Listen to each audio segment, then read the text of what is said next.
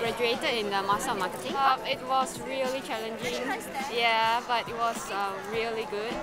All my classmates we are quite close knitted because all of us are full timers.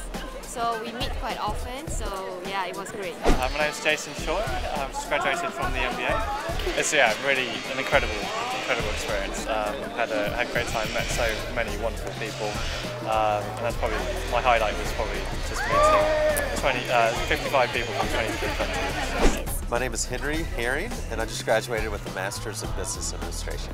Oh, just an amazing experience that's broadened my horizons and has really prepared me for the future. Hello. Hello. How are you? I'm good. And your And I'm the dad. dad. Here we go. Uh, and my Um, brother Philip. Oh, and brother Philip. Oh, twin brother Philip. Yes. so have you flown over specially for graduation? Yes, Yep. we did.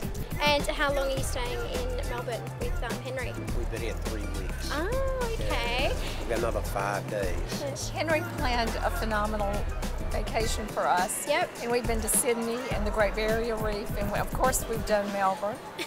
and we're heading for the uh, Great Ocean Road before we go home. I would say accounting, and it was in the first term. So that one was really a very testing subject. Probably accounting. Accounting was pretty pretty tough. Um, so yeah, because we come from a pretty unconventional background, and so um, it was pretty pretty tough subject. I believe the toughest subject was quantitative analysis. And what was your Yeah. favourite subject? Uh, I would say marketing strategy. That one was uh, challenging, uh, ha- a lot of hard work required, but I learned a lot and I still remember all the points that I got from the class.